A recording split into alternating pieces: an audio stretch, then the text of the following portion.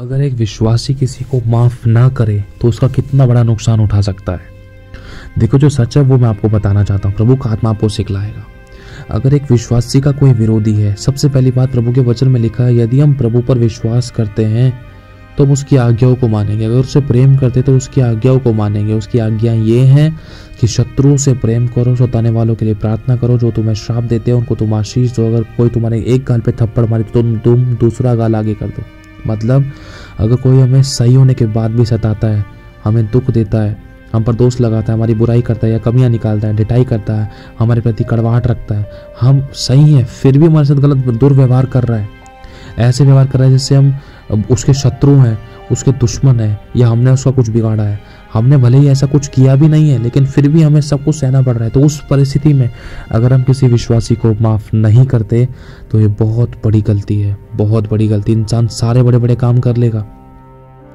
और लेकिन अगर इस छोटी सी माफ़ करने वाली बात में चूक गया ना तो सब कुछ कूड़ा है, ये सत्य है।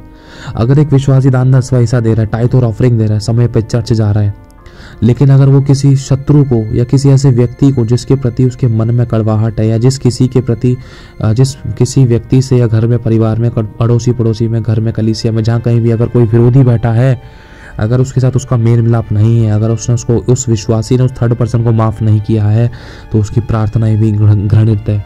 प्रार्थनाएँ भी नहीं सुनी जा सकती है वचन में लिखा है।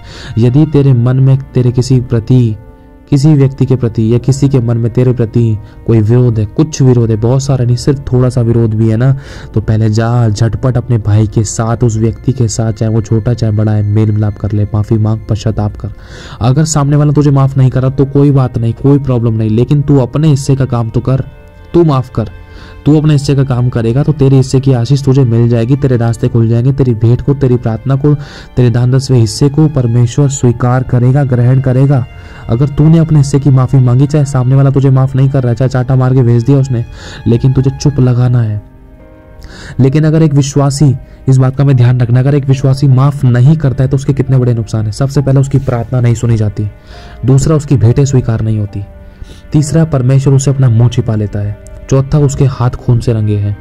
पांचवा, लिखा है, जिस प्रकार तुम अपने अपराधियों को क्षमा करोगे, उस प्रकार तुम्हारा स्वर्गीय पिता भी तुम्हारे अपराध क्षमा करेगा। इसका मतलब यह है कि अगर एक विश्वासी किसी दूसरे विश्वासी को या किसी अन्य जाति को घर के परिवार को, या किसी कलीसिया को, किसी अड़ोसी पड़ोसी को, अगर एक विश्वासी जो प्रभु को जानता है, अगर एक विश्वासी प्रभु को जानने के बाद अगर किसी भी व्यक्ति को, जिसे वो देखता है, अगर उसे प्रेम नहीं कर रहा है, अगर उसको माफ़ नहीं कर रहा है तो परमेश्वर की ओर से उसको माफ़ी नहीं मिल सकती। माफ़ी मतलब क्षमा और लिखा, जब तक तुम्हारे पाप क्षमा नहीं होंगे, जब तक तुम स्वर्ग नहीं जा सकते। सोचो, परमेश्वर ने जड़ पकड़ रखी है यहाँ पर। यही बात सिखला रहा लिखा है, जिसको तुम देखते हो, जिस मनुष्य को तुम देखते हो, यदि तुम उससे प्रेम नहीं करते तो जिस परमेश्वर को तुमने अभी देखा ही नहीं है तो तुम उस परमेश्वर से कैसे प्रेम कर सकोगे? और तुम जीव ही से नहीं वरण अपने कामों के द्वारा भी प्रेम को प्रकट करो। तब तुम जाने, तब तुम जाने जाओगे कि तुम मेरे चेले हो और तुम मेरी आज्ञाओं को मानते हो। इसलिए प्रभु कहना चाहता है कि यदि तुम दूसरों के अपराध क्षमा करोगे तो तो करेगा तुम्हारे स्वर्ग पिता तुम्हारे अपराध क्षमा। हो जब तक पाप क्षमा नहीं होंगे, ना तो कोई आशीष आ सकती है, ना चंगाई आ सकती है, ना बरकत आ सकती है। कामों में फेलियर को देखता है इंसान, कामों में तकलीफों को देखता है, रुकावटों को देखता है, घटी को देखता है, विरोध को देखता है, तकलीफों को देखता है, बीमारियों को देखता है, और लड़ाई दंगे को देखता है, मौत और एक्सीडेंट्स वरन वो शैतान के सारे कामों से वो घिर जाता है एक विश्वासी। जब वो किसी को माफ़ नहीं करता है, तब लेकिन जैसे ही वो माफ़ करता है, लिखा, जिस समय तूने मुझे पुकारा, उसी समय मैंने तेरी सुन ली। मेरे भाई और बहनों, बस ये ये भी और इससे भी बहुत बड़े बड़े कारण हैं। अब सोच कर देखो, लिखा है, जिस नाप से तुम नापोगे, उसी नाप से तुम्हारे लिए नापा जाएगा। अगर किसी पे हम दया करते अगर हम किसी को माफ़ कर रहे हैं तो दया न्याय के ऊपर जय पाती है, जयवंत होती है। आपका न्याय होगा ही नहीं। आप तो डायरेक्टली प्रभु के राज्य में प्रवेश कर जाओगे, अगर तुरंत आप हर किसी को माफ़ करना सीख लोगे तो। चाहे किसी ने आपके साथ बुरा किया है, चाहे भला किया है, हर बात में आप अपनी तरफ़ से प्रेम को प्रकट करोगे, हर बात में हर किसी को दिल से माफ़ करोगे ना तो आपके लिए हमेशा स्वर्ग का द्वार खुला रहेगा और आपका न्याय होगा ही नहीं। ये वचन बता रहा है क्योंकि लिखा है, दया न्याय के ऊपर जय पाती है। अगर आप दूसरे के चांटे के बदले चांटा नहीं कर रहे वरन आप दया कर रहे हो, वरन आप प्रेम प्रकट कर रहे हो, आप उसको माफ़ कर रहे हो तो इसका मतलब आपने प्रभु के गुणों को प्रकट किया है और आपका रास्ता साफ़ हो गया है। चाहे सामने वाला फंस गया, उसकी करनी वो जाने। लेकिन आप तो पश्चाताप करने के द्वारा, आप तो खुद माफ़ी मांगने के द्वारा, और आप तो खुद दूसरों को माफ़ करने के द्वारा, आप तो परमेश्वर की दृष्टि में भले बन गए। ये बहुत भली बात है हमारे लिए। हमारा रिश्ता प्रभु के साथ कैसा है, ये चीज़ हमें देखनी है।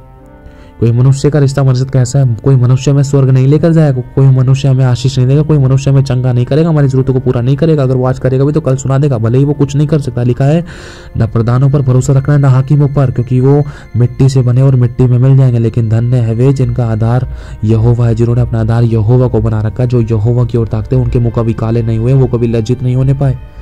जितनों ने उसकी ओर दृष्टि की, वो कभी काले नहीं, उसके मुँह कभी काले नहीं हुए। परमेश्वर ने उनको लज्जित नहीं होनी उनकी बेइज्जती नहीं होनी थी क्योंकि जिस समय उन लोगों ने जो परमेश्वर की दृष्टि में खड़े थे विश्वास योग्य थे, जो जो माफ़ करने वाले व्यक्ति थे, जब उन्होंने प्रभु को पुकारा तो लिखा है, मैं तुम्हारी सुनकर स्वर्ग को झुकाकर उतर आया, मैंने तेरी सुन ली। जिस समय तूने पुकारा, उसी समय मैं तेरी सुन ली, तुझे मैंने पूरी रीति से निर्भय किया और हियाब बनाया, और तेरे शब्द मेरे कानों में पहुँचे, मैंने तेरे गिड़गड़ाने को सुना है, मैं तेरी प्रार्थना को उत्तर दिया है, वरन मैं उतर आया हूँ। मैं तुझे आशीष दूँगा, तेरा नाम महान करूँगा, तुझे ब्लेस करूँगा, तुझे छुड़ाऊँगा, तुझे बरकत दूँगा, तेरी रक्षा करूँगा, तेरी सुरक्षा करूँगा। ये कब करेगा परमेश्वर?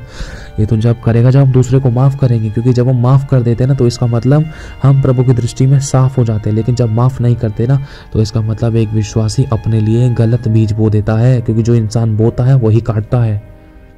अगर आज मैं किसी को माफ़ नहीं कर रहा हूँ तो परमेश्वर मुझे माफ़ नहीं करेगा।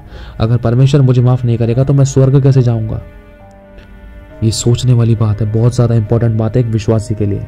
प्रभु के वचन को जानने के बाद हो सकता है माफ़ करना बहुत कठिन है।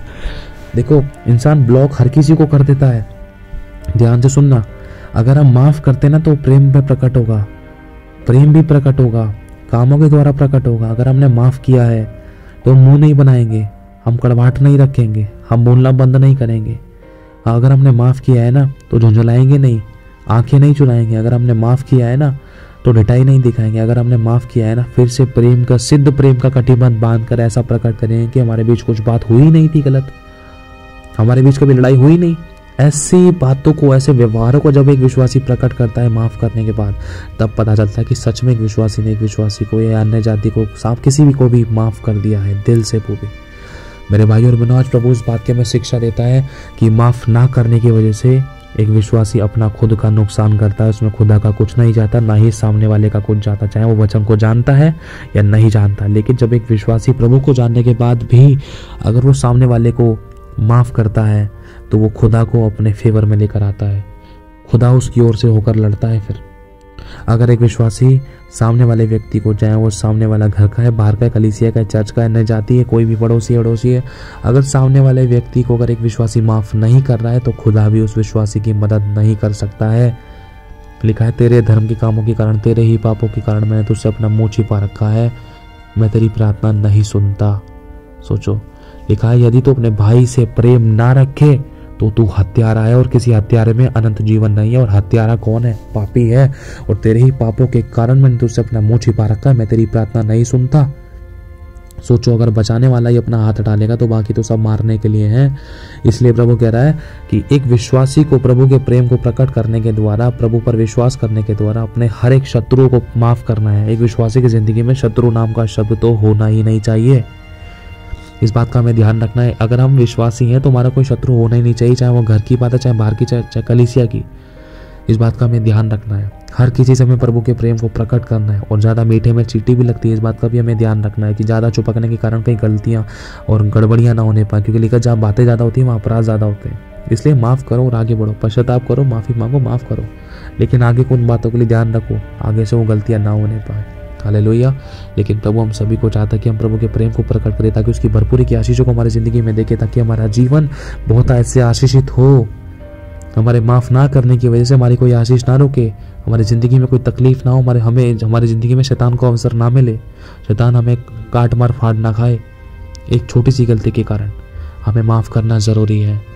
यदि हम प्रेम करते हैं प्रभु से तो मनुष्य परमेश्वर ने कहा है कि तुम्हारा शरीर मेरे पवित्र आत्मा का मंदिर है। तो सोचो, जिस शरीर से हम नफरत कर रहे हैं, जिस शरीर के अंदर, चाहे वो माँ है, चाहे बाप है, उस विश्वास से उस मनुष्य से अगर हम नफरत कर रहे हैं तो परमेश्वर से कैसे प्रेम कर सकेंगे?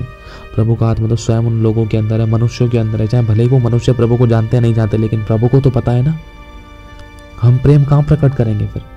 अकेले घर में प्रेम प्रकट नहीं होता है। जब दो लोग साथ में होते हैं तब पता चलता है कि हमारा प्रेम कैसा है क्या हम एक दूसरे की सह सकते हैं, माफ़ करने के लिए तैयार है, क्षमा करने के लिए, बुरी बातों को हमेशा के लिए ढांपने के लिए गड़े हुए मुर्दों को कभी नहीं उखाड़ना है हमें। गड़े हुए मुर्दों को हमेशा गड़े रहने देने के लिए, बुरी बातों को, बीती हुई बातों को, गलत बातों को हमेशा हमेशा के लिए दफनाने के लिए कि हम तैयार हैं या नहीं। अगर तैयार हैं तो उसे कहते हैं कर्म के द्वारा प्रेम को प्रकट करना, एक नई शुरुआत करना। हालेलुया तो प्रभु चाहता है, माफ़ कर और आगे बढ़। मन फेरा, पश्चाताप कर। यदि गलती अब तक हो भी गई तो कोई बात नहीं। लेकिन जो अपने अपराध एक दूसरे के सामने मान लेगा तो उस पर दया की जाएगी और वो चंगा हो जाएगा। अमेन प्रभु यीशु के नाम से प्रभु आपको बहुत ब्लेस करे। जय मसीह के आप सभी को।